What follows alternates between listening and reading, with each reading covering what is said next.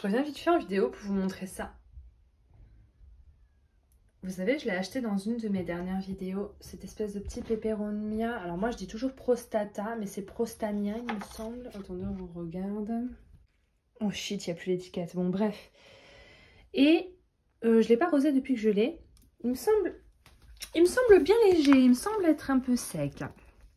Donc je me disais, est-ce que je le ferais pas tremper un petit peu? J'ai observé ces feuilles et j'ai remarqué que certaines de ces feuilles à la base, vous voyez ou pas, ces petites feuilles là, elles sont hyper, euh, comment vous dire?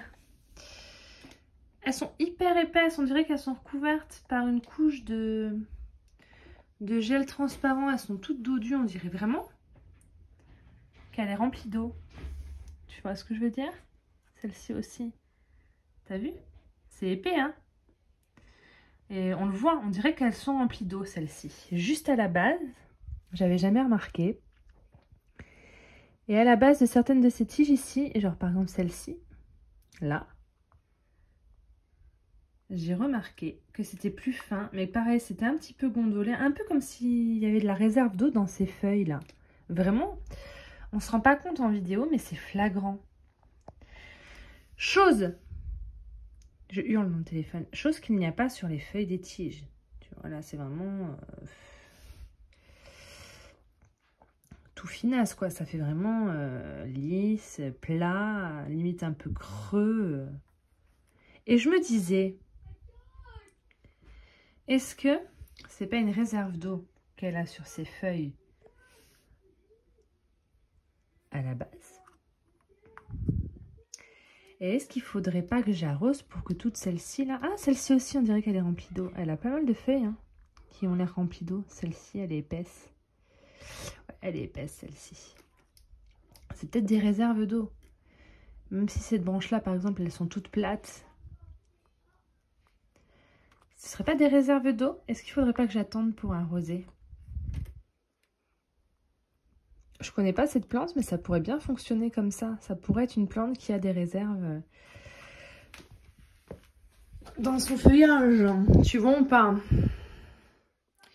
Donc, je vais attendre encore un peu. Je vois aucun signe... Ah, si Il y a un petit signe de soif. Euh, ou alors, c'était déjà là quand je l'ai acheté. Attendez, j'analyse avant de m'en occuper parce que comme je découvre... Je constate quoi d'autre? Je constate que le bout de cette tige a l'air un peu fadé. Euh, fadé, fané. Voilà, bon, ça m'a resté dans les mains. Donc ça va reprendre.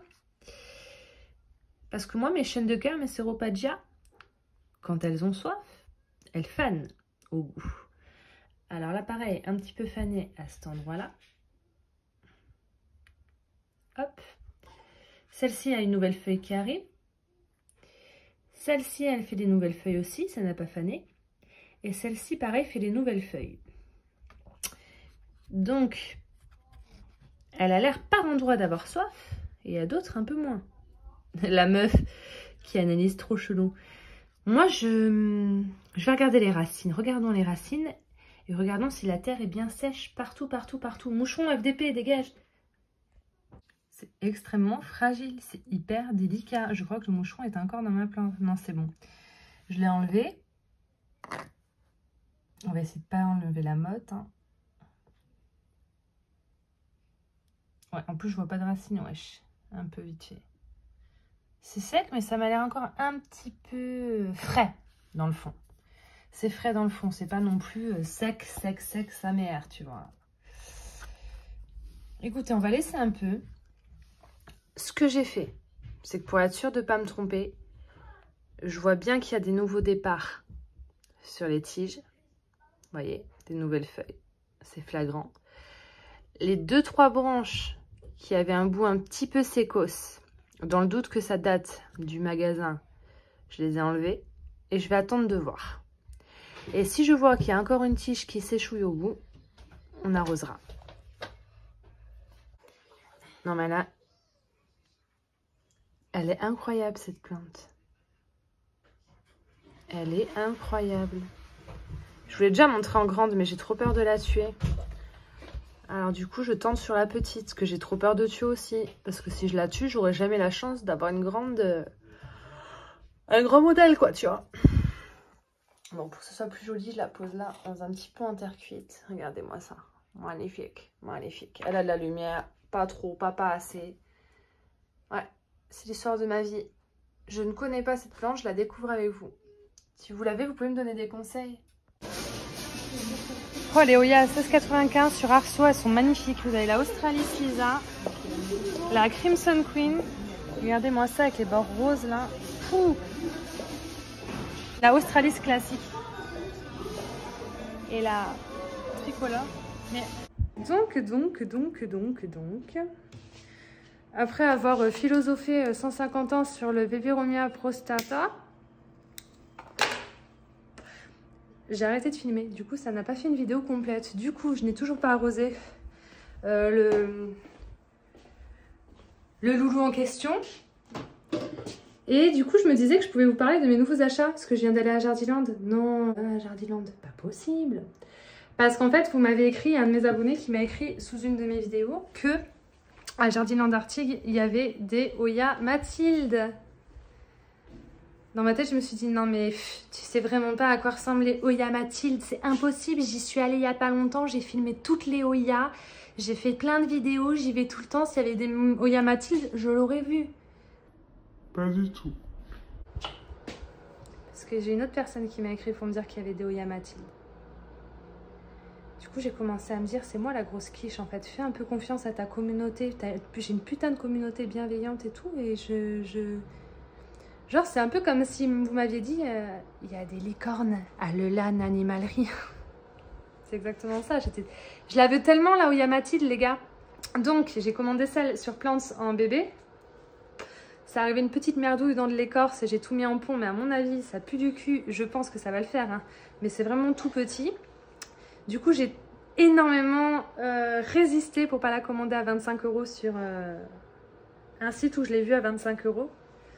Euh, de ce format-là. Elle était incroyable d'ailleurs, en photo du moins. Mais je n'ai pas craqué parce qu'il y avait les frais de port, etc. Ça me... Je sais pas, je voulais attendre de la trouver en magasin. Et là, quand vous m'avez dit qu'elle était à Arctic, j'ai retéléphoné et en fait, ouais, elle y était, mais elle n'était pas rangée avec les Oya que je vous montre quand je filme en vidéo. Elle était rangée avec les orchidées. Donc, je suis allée la chercher. Je m'attendais pas à un truc de fou. Bon, 25 euros, c'est le prix que je la vois sur Internet. D'une taille euh, modeste, mais j'ai failli tomber dans ma poubelle. Voilà, ça allait, quoi. Et bien, en fait, je l'ai acheté. Vous n'êtes pas prêts. Franchement, J'aurais voulu en prendre trois si je m'étais écoutée. Mais il y a eu un imprévu.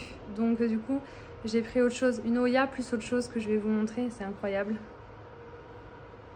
Mais attendez, je vous montre la Oya déjà. Je suis pas à la maison, mais je pouvais pas attendre d'être à la maison pour vous montrer ça. Regardez, ma Oya Mathilde.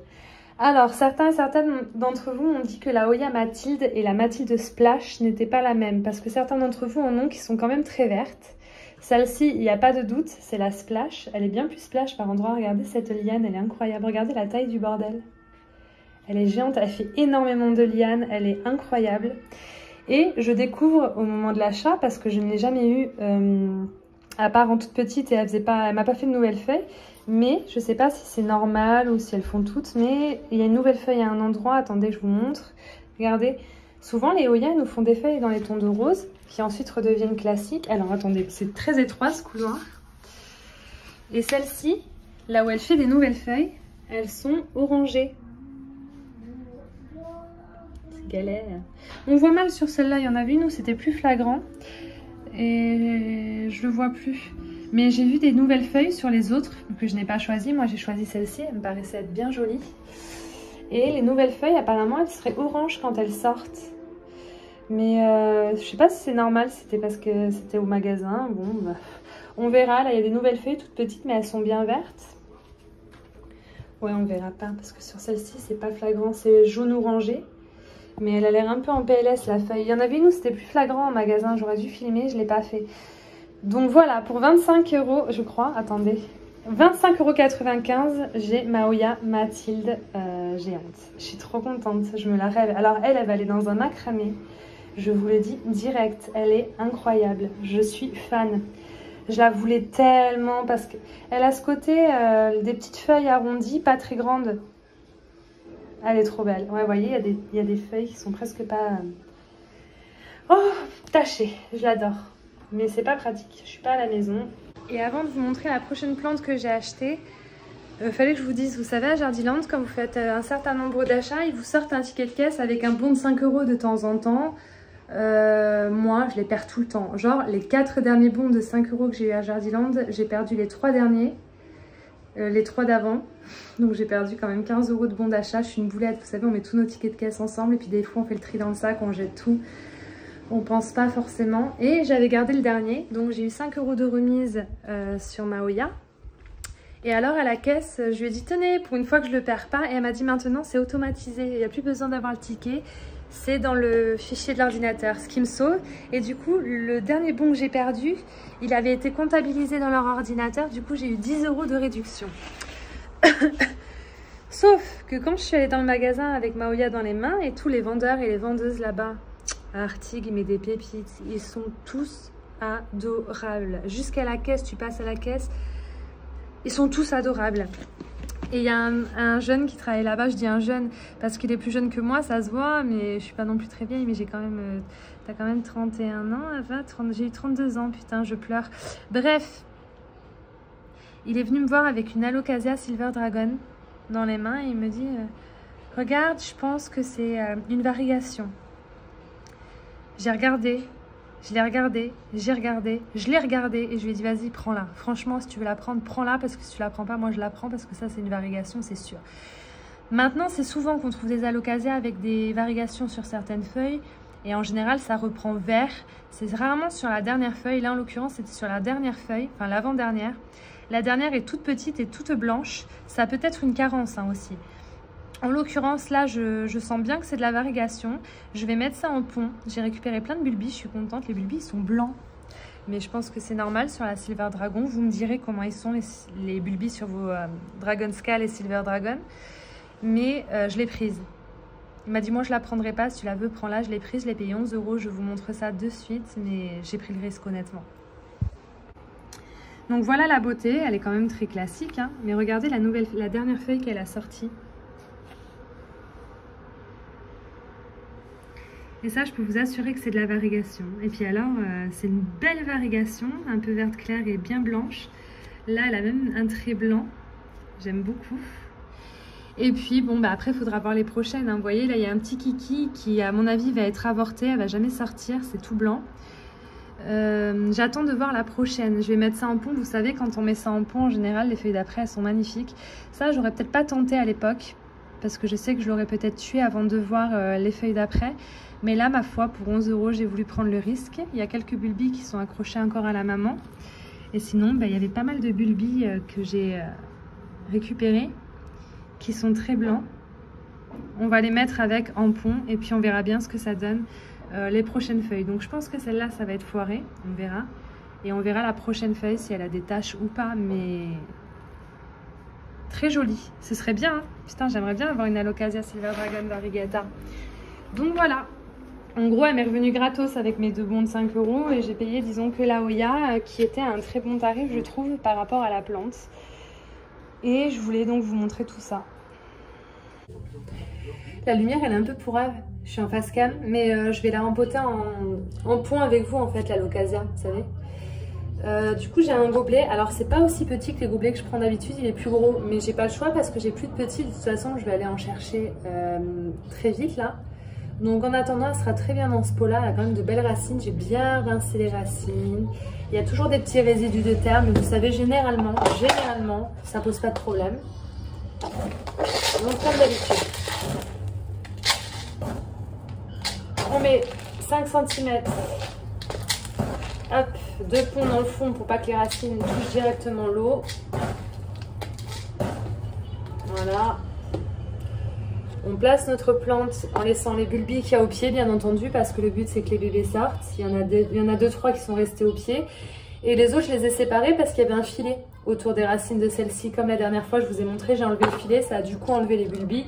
On les a mis à part sur la hasani, c'était, et ça va très bien se passer. On en fout partout. Normalement, on prend notre temps, mais moi, je prends pas trop mon temps parce que là, je veux faire manger mon bébé. C'est plus que l'heure. Hop. Hop.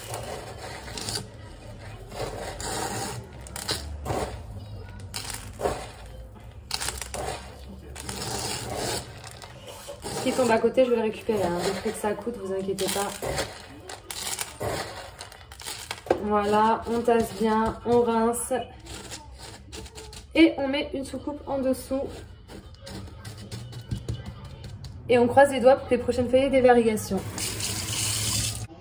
Voilà, bon il y a écrit White Princess, vous inquiétez pas, c'est que mon White Princess était dans ce pot là avant. Donc elle est bien rempotée, je suis très contente. Euh, il y a des petits bulbis qui dépassent là du pont. Et ce que je vais faire, c'est que je vais y ajouter ces bulbis euh, que j'ai enlevés tout à l'heure. Hop Et voilà, j'en ai mis 4. Je sais pas si vous les voyez. Donc 1, 2, 3. Et il y en a un tout petit là, il y a une petite pointe qui dépasse ici. Bon, du coup on en a 4 là, plus ceux qui sont encore accrochés à la maman.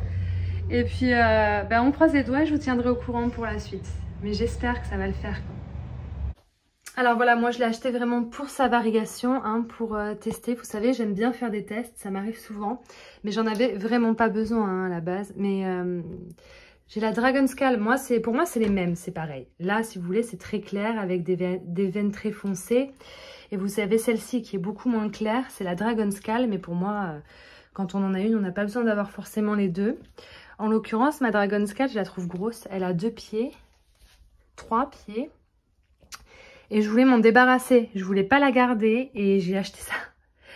Donc là, je pense que je vais encore moins la garder. Je vais peut-être la, la mettre au troc ou à la vente. Elle m'a pas fait de nouvelle feuille. Je l'ai mis en pont. Si, elle m'a fait une nouvelle feuille qui est incroyable. Regardez. Quand elles sortent du pont, les feuilles, elles sont parfaites, quoi. Je sais pas, elles ont toujours tendance à être un peu déformées en terreau, pas très belles, et elles ont des petits soucis. Quand elles sortent du pont, elles sont tout le temps incroyables, les feuilles. Donc je l'aime, hein. attention, je l'ai acheté parce que je l'aime, mais je j'ai pas envie de la garder, j'ai pas envie. Du coup, je vais garder plutôt celle-ci. Même si elle me fait pas d'autres feuilles variées, euh, j'aime mieux quand même la silver malgré tout. Et puis, euh, elle est plus petite, elle prend quand même moins de place. Et les bulbis en pont, je vous confirme que ça fonctionne. Hein. Vous vous souvenez de mes 9 bulbis de Black Velvet? Je commence déjà à avoir des petites plantes qui arrivent, des feuilles qui se déroulent. Voilà. J'en vois 8 compris. 1, 2, 3, 4, 5, 6, 7, 8 compris. Il y en a un qui n'a pas dû prendre. Ouais, là-bas, c'est pas grave. C'est déjà beaucoup trop. Mais voilà, ça fonctionne bien, vous voyez.